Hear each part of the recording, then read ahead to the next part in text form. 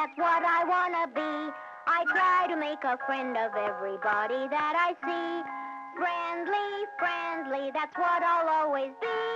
And you will make me happy if you'll just be friends with me. Hey, watch out. Huh? You nearly stepped on me. Uh, who are you? My name is Prince Pippin. Glad to know you. I'm Casper, the friendly ghost. Why don't you show yourself? A mean old sorcerer took me to the enchanted forest and he made me invisible. And then he stole my palace. Just follow me, Prince. Okay, Casper. First, we're going to find a way to make you visible again. And then we're going to help you get your kingdom back. Uh, do you think you can? Hello, Casper. Wendy. I want you to meet my friend, Prince Pippin. Hiya, Wendy. But where is he? I- I'm right here. A mean old sorcerer made him invisible. Couldn't you undo the spell? Wait here. I've got just the thing for him. Hey, what's that aroma? Must be one of Wendy's magic brews. One sip of this should make him visible again. Hurry, hurry. Let me have it, Casper. How can I when I can't see you? Oh, look out. You bumped into me. Gosh, I'm sorry. I spilled it all over you. Look, look. The magic brew made me visible. Now we'll see what we can do to get your palace back again. Oh, that's impossible. Huh? Why not? My kingdom lies across the dreadful desert where the sand is too hot to walk on. The sorcerer flew me here over the desert on his magic carpet. Well, we can fly you back again. You mean you have a magic carpet too? No, but I've got a magic broom. Gee willikers, I hope this thing is safe. Don't worry. It is. Let's go. Careful now. There's the dreadful desert. We'll have to fly high to beat the heat. Hooray, hooray. I can see my palace from here. Who's that flying around there? It's that mean old sorcerer. It's that pesky prince, and he's got a ghost and a witch to help him. Abracadabra shazavoom! Put an end to that flying broom!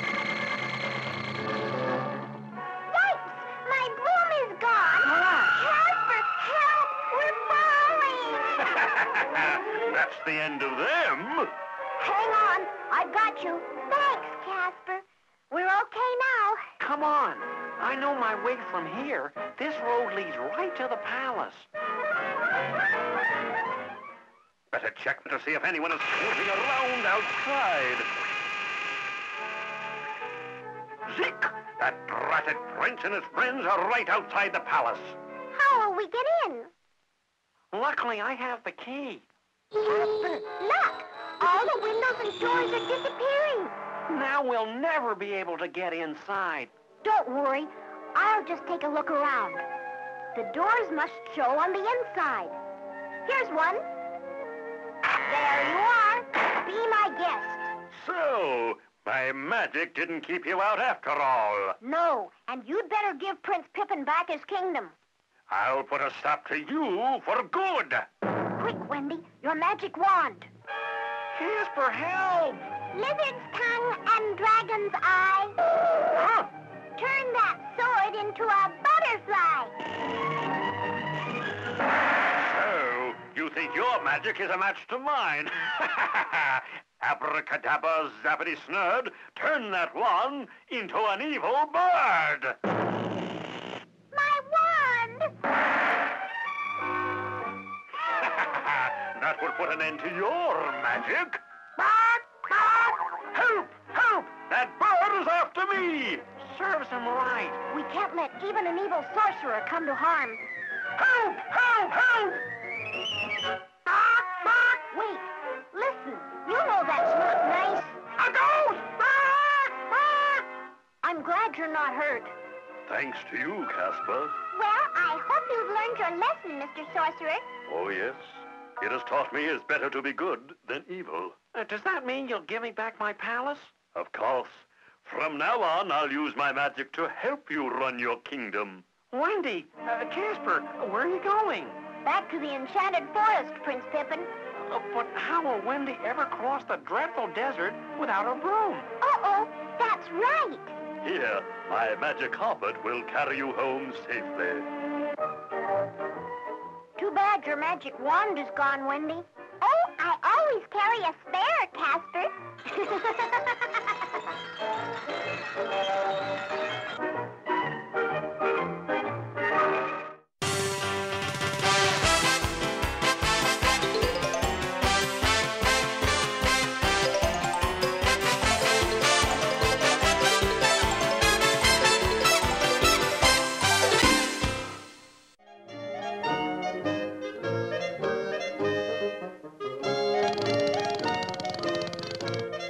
The net is ready, sir.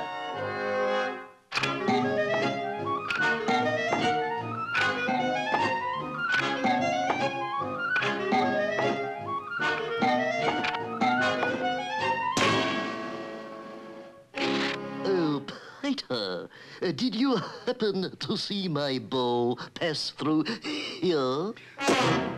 Reginald, I've had enough of your confounded nonsense. It's about time you upheld the family tradition. There's the wild boar your grandfather bagged when he was just fresh out of Oxford. And that's the rhino your great great grandfather brought down with just one shot.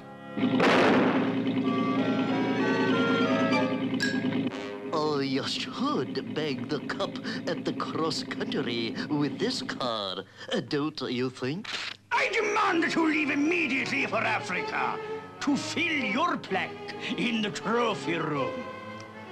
Oh, very well, Peter, if uh, you insist. Quigby, pack all my hunting gear. We're off to Africa. Your quinine water, Sir Reginald.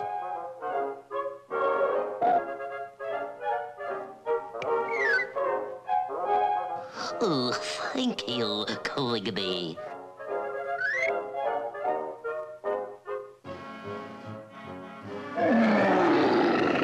I say, sir, wasn't that a lion's roar? Very observant of you, Quigby. Begging your pardon, sir, but it's tea time. Uh, your tea, sir, as you like it, piping hot.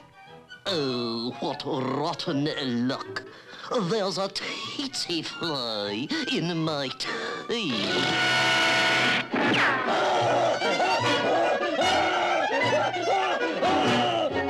The jungle is so frightfully boring. What I wouldn't give for just one hole of golf. I say, sir, a golf course. By Jove, my niblick, Quigby. I say, for...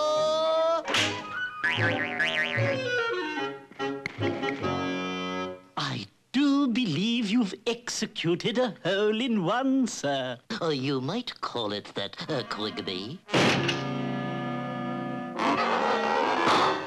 Uh, We certainly did get our teeth into that shot, didn't we, sir?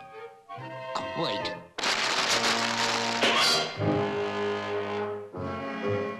From these footprints, I would say we are definitely on the beast's trail.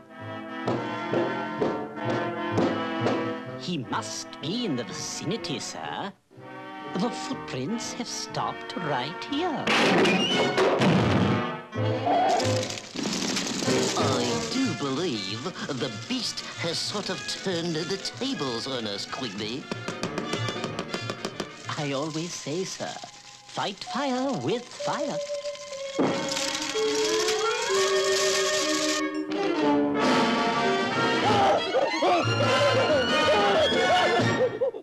Do you think this'll work, sir? You'll make excellent bait, uh, Quigby. I shall bag the beast from behind these bushes. What a revolting development.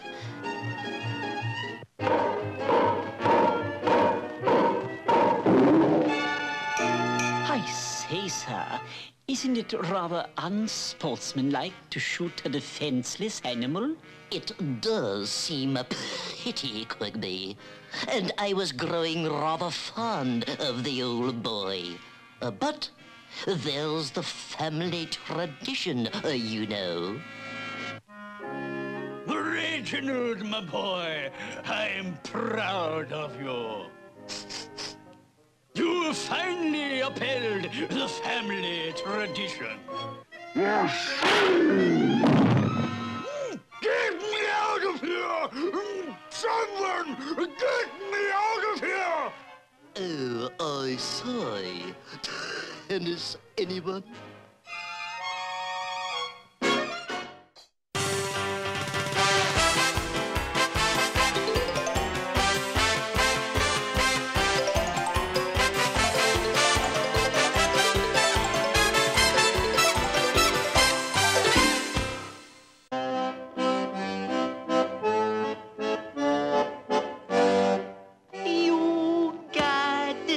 Stars in your eyes when you eat my pizza pies. Have some more, have some more. It's just like paradise when you taste your first slice of my pizza. It's delicious.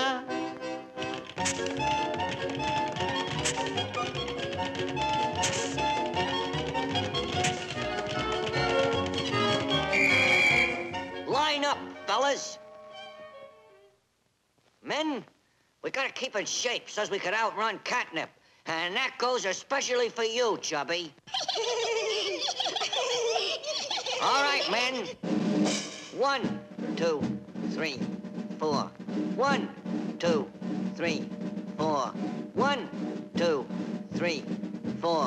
One, two, three, four. One, two, three, four. Chubby, someday your appetite is gonna get you into trouble. It's a your palette palatite with the imported cheese on my pizza. That's a good eatsa. She's a my prize pizza pie. That's the best you could buy. Everybody eats on my pizza. One, two, one, two, one, two, one, two, one, two, one.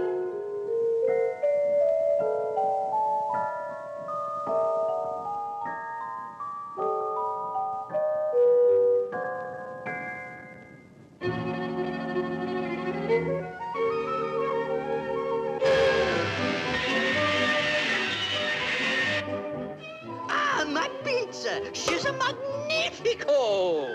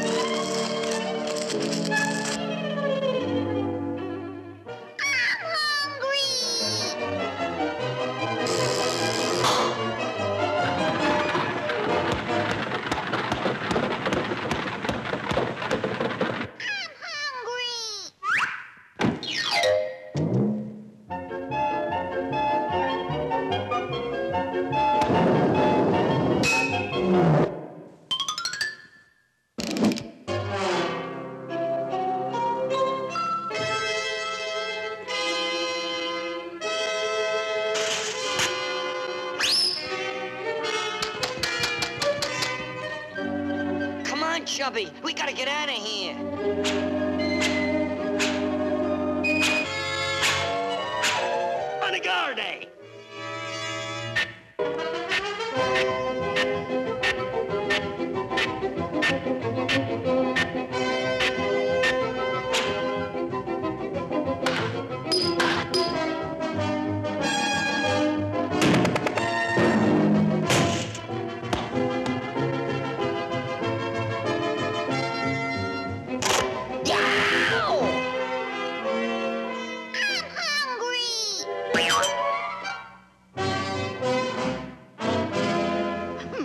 Anagarde. make a mouse-strone soup. Poor Hermanio.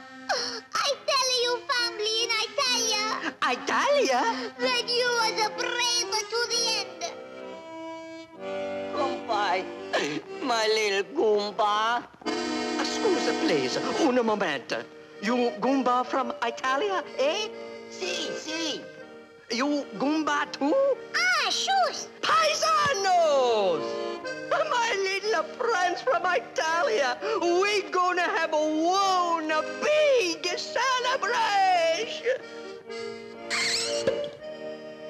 Just like the Italy, dance and sing happily, my paisanos. My paisanos. You'll eat my pizza pies till it comes out of your eyes, my paisanos. My paisanos.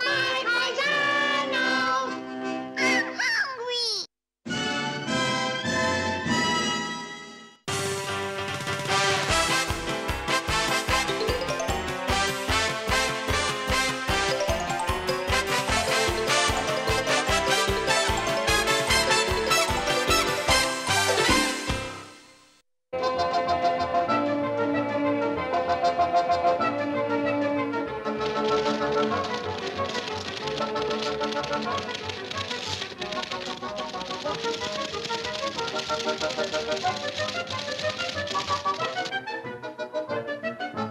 in Crumley Cogwheel right away. Crumley Cogwheel? Who's he? Little guy buried in the accounting department. Attention, please. Crumley Cogwheel, Report to the president's office. Crumley Cogwheel, come out, come out, wherever you are. The president's office.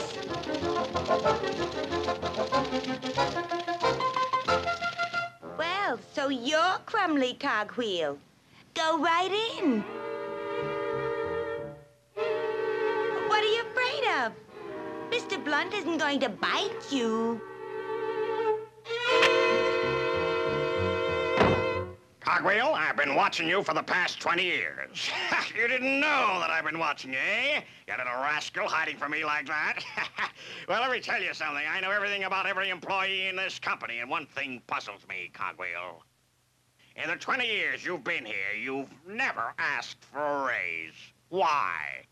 Because you're shy, timid, no guts. Chicken, they call it where I come from.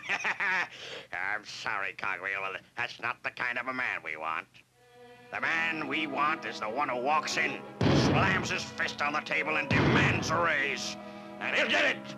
You know I Cogwheel? Because that kind of a man is worth money to Michigan nuts and bolts. So, okay, Cogwheel, I want you to ask me for a raise right now. I, I, yeah, I would like, I would, uh, Oh, come on, how much you want, Cogwheel? You name it, I'll give it here. Uh, yeah, I would, yeah, I would, I would, I would, uh, uh, yeah, I would, Cogwheel, don't you I understand? I want to give you this money. Speak up, man. I would, I would, I I, I, I I Cogwheel, I should fire you right now. But since you've been with us for 20 years, I'll give you just one week to ask for that raise. And if you don't work up enough guts by then, by jingo, I'll fire you. I want a raise. I want a raise. I want a raise. Yes, sir, Mr. Blunt. I want a raise. A raise. That's what I want. Want a raise? Heck, I demand a raise. I demand a raise. Yes, I demand. Do you hear me? I demand. I would. I would. I. I.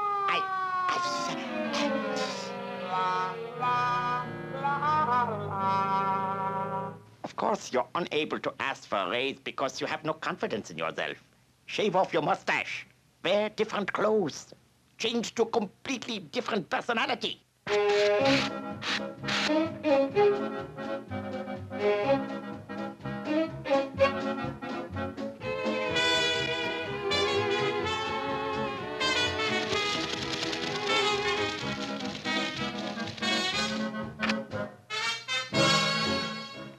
I'm here for a raise, and you know it. Specifically, I'll take a $50 increase. Okay, the ball's in your court now.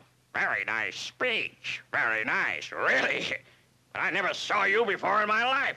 I haven't the faintest idea who you are.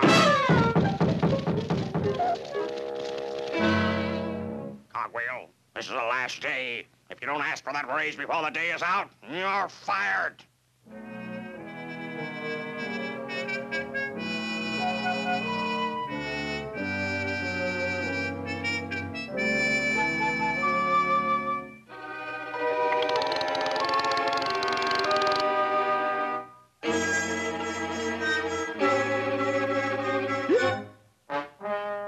And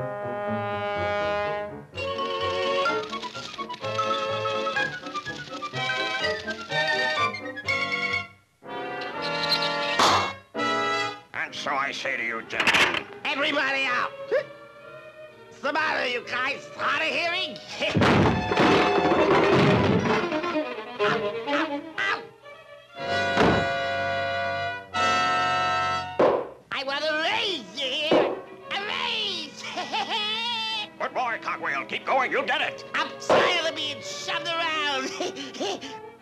Tougher boy, assert yourself. promises! That's all you give me is promises! That's it. Come on, boy, come on. Either you give me that raise, or I walk out right now. You've done it, Cogwheel. You've done it. You've got yourself that raise. A big, fat, juicy one dollar. Poor guy, I guess the shock was too much for him.